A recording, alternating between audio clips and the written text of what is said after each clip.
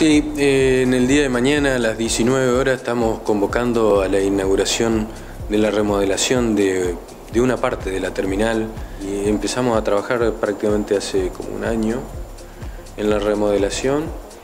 Se hicieron, se trasladaron las boleterías donde habitualmente estaban y donde estaba el comedor viejo, un comedor que hace muchos años dejó de funcionar. Ahí se colocaron las boleterías nuevas con ingreso por calle Olesio.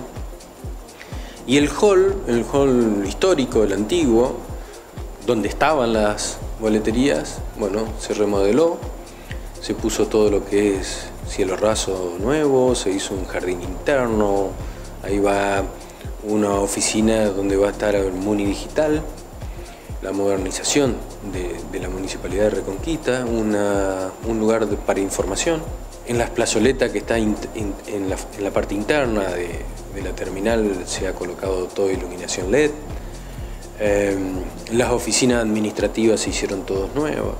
Y también hemos colocado eh, el primer eh, semáforo sonoro en la esquina de Patricio 10 y Olesio, es decir, de tal manera que aquellas personas carentes de, visión también tengan ese servicio, el servicio, puedan usar el servicio de semaforización, sobre todo en el cruce peatonal me refiero. Y se concesionó eh, dentro del hall eh, a un empresario, un empresario de Reconquista, eh, que es Vicempam, un bar comedor, así que, bueno, baños nuevos,